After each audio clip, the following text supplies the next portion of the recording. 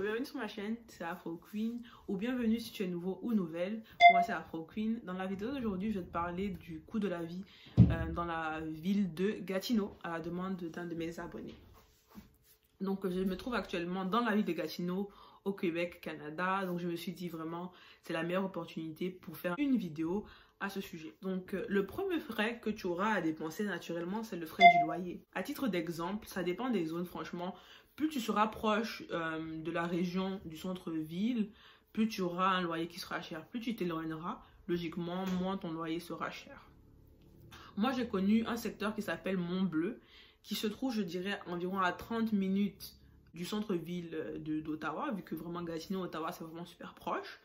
Et euh, la dernière fois que j'ai regardé les, affiches Kijiji, donc Kijiji, le site web où on peut chercher des logements et d'autres choses, en fait, le loyer là-bas pour une chambre, c'était environ 900 dollars par mois. Mais euh, je vais faire une recherche aujourd'hui et je vais vous montrer quelques euh, exemples de prix de loyer mensuel pour un une chambre ou un deux chambres si vous allez faire de la colocation par exemple. Ensuite, la deuxième charge que vous allez avoir, euh, en général, c'est l'électricité parce que l'électricité est rarement inclus dans le prix du loyer vu qu'elle est vraiment très très peu chère. À titre d'exemple, moi, à Montréal, moi, je paye 50 dollars deux mois, donc 25 dollars par mois. Mais en comparaison, ça doit être à peu près le même niveau si vous payez euh, l'électricité séparée du chauffage. Parce qu'il y a des, des logements où le chauffage est électrique donc, et le chauffage est rarement inclus dans le loyer. Donc, vous vous dites bien que si vous êtes en hiver, que votre chauffage est électrique et que l'électricité est à votre charge, la facture d'électricité sera bien entendu plus élevée. Ensuite, on vient au à un autre point qui est l'Internet. Euh, L'Internet qui est vraiment desservi par euh, les grands géants, si je peux dire, les géants comme Vidéotron, Bell, Virgin, Fizz, Vidéotron. Moi particulièrement, je connais Fizz et j'utilise Internet Fizz qui est en fait une filiale de Vidéotron. Donc lorsqu'il y a une coupure chez Vidéotron, eh bien il y a une coupure euh, chez, chez Fizz aussi. Donc moi le forfait que j'utilise particulièrement c'est de, je pense que c'est 30 MPS ou MBS.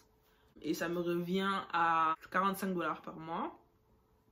Mais leur internet est vraiment un petit peu lent. Pour une personne, je trouve que c'est un petit peu lent parce qu'il m'arrive souvent euh, d'être sur un, appel WhatsApp et peut-être que je veux utiliser, je sais pas, mon ordinateur en, même temps et j'ai des coupures en fait sur euh, l'appel WhatsApp.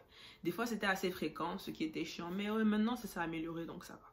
Donc, euh, il faut vous attendre à peu près, je dirais, entre 40 et 60 dollars par mois. C'est un prix assez médian pour euh, les forfaits internet. Ensuite, un autre frais que vous devrez, dont vous devrez vous occuper, ce sera le forfait mensuel pour votre passe d'autobus. Donc euh, ici, ils utilisent la société de transport de l'Outaouais. Donc c'est en fait l'Outaouais, c'est la région qui entoure Gatineau et ses environs. Donc c'est ça le forfait mensuel euh, pour tout adulte. Je pense des adultes qui ne sont pas des étudiants et qui ne sont pas des aînés. Donc euh, c'est 100 dollars par mois. Mais il me semble qu'il n'y a pas de rabais pour les étudiants de l'université si je ne m'abuse. Je sais que par exemple les étudiants de l'université d'Ottawa peuvent utiliser leur passe d'autobus qui est en général à rabais à Gatineau, mais je ne sais pas si l'inverse est vrai. De toutes les manières, 100 dollars, si ça vous revient moins cher, c'est tant mieux. Sinon, gardez en tête 100 dollars par mois pour payer la passe autobus à Gatineau. Ensuite, je dirais, viendraient les courses. Et les courses, euh, moi, vraiment, le magasin phare où je vais, euh, si ce n'est pas pour acheter des mets euh, africains, c'est Maxi. Parce que Maxi, vraiment, c'est un coin où les prix sont vraiment imbattables. C'est les prix sont les plus bas. Donc à Maxi, je vous conseille encore une fois de faire votre euh, épicerie en gros. Et ça vous permettra de faire des économies.